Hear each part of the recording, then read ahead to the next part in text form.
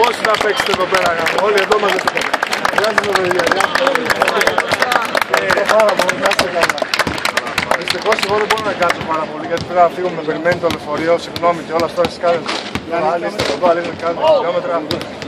Τι να πω για εμάς είναι πάρα πολύ σημαντικό που μας στηρίζετε έτσι και εμένα, εγώ τουλάχιστον έτσι το καταλαβαίνω και με τον Γιάννη που έχουμε μιλήσει είναι πάρα πολύ όμορφο το ότι είστε δίπλα μας και πραγματικά να είστε καλά, να είστε καλά. Σημαίνει πάρα πολύ για μας αυτά τα, να ακούμε αυτά τα λόγια, να μας λέτε ότι κάνουμε περήφανο στην Ελλάδα και τα λοιπά. Είναι, είναι πάρα πολύ όμορφο και τι να πω, είναι, είμαστε πραγματικά τυχεροί που σας γνωρίζουμε. Είστε, εσείς είστε οι πραγματικοί Έλληνες, γιατί αγαπάτε τη χώρα, πιστεύω ακόμα περισσότερο από αυτούς που είναι στην Ελλάδα.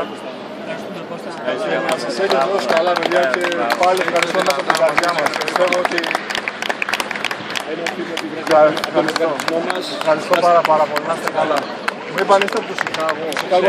Θα σας δούμε ξανά μετά. Δεν είναι. Έγινε σήμερα. Να είστε καλά, πάρα πολύ. Το κανόνι σου. Καλά είναι και στο Χιούστον δεν κάνει κρύο τουλάχιστον. Εκεί μια χαρά είμαστε. Άσε. Έτσι.